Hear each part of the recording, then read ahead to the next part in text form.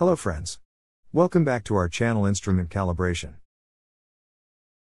If you are new on this channel, and if you have missed our previous videos, then you can find links in the description box. And if you don't want to miss any informative video in future, then please subscribe this channel and press bell icon to get notification when we post new video on the channel. This is very short video on 4-wire fully isolated transmitter. In this video, you will learn What is 4-wire transmitter, and what are the advantages and disadvantages of having 4-wire transmitter? Before we start this video, I want you to give the answer of this most frequently asked interview question. The question is, where should we terminate the shield cable? First option is, at panel side. Second option is, at transmitter side. The third option is, at both side. And the fourth option is, either transmitter side or panel side.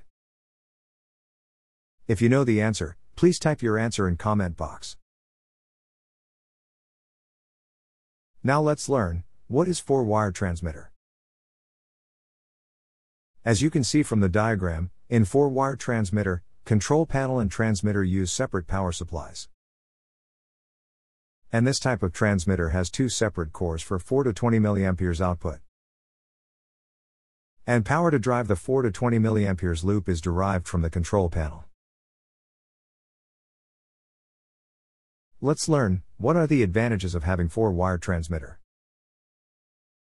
The most important advantages of having 4-wire transmitter is that, any electrical interference will not be transferred to the 4 to 20 mA signal line.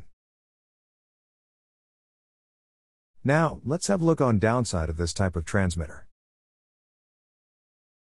First disadvantage is that, one additional cable core is required for this type of transmitter.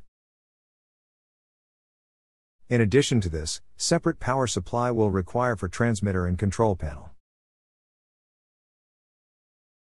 Thank you friends for watching this video.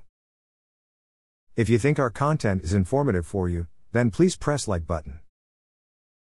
And make sure to share this video with your friends.